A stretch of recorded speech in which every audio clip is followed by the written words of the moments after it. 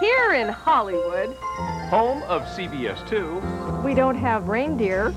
So we fake it. We don't have snow. So we shake it. and we don't have a winter wonderland.